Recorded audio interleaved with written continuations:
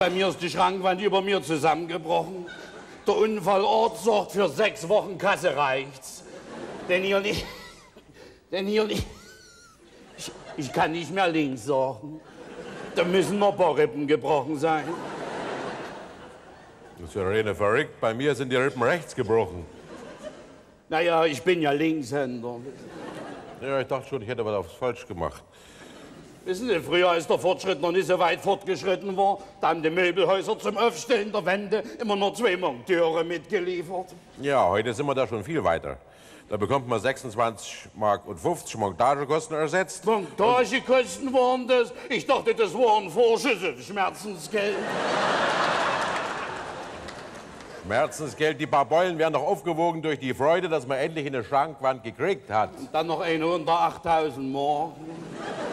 Wissen Sie, der Handel, der spart pro Wand sechs Stunden Montagekosten. Dafür macht der Kunde sechs Wochen Kasse. Das ist eine neue Sparsamkeitsmethode. Spare mit jeder Mark, können ruhig ein Tausender mehr kosten. Naja, aber der Schaden wird doch wenigstens auf breite Bevölkerungskreise verlagert. In ein paar Jahren sind wir da auch weiter.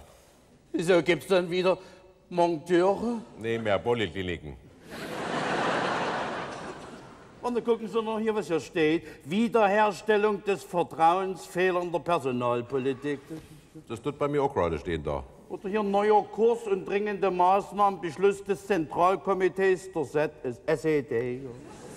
Ja Rene, Rene verrückt, dasselbe steht bei mir hier. Gucken hier Diskussion mit den Werktätigen über die Lage führender Vertreter von Partei und Staatsführung in Berliner Großbetrieben. Das ist gut. Genau wie bei mir. Sagen Sie mal, Sie haben die gleiche Zeitung wie ich. Von wann ist denn Ihre? Vom November 89. Meine ist von Juni. Ja, aber 53.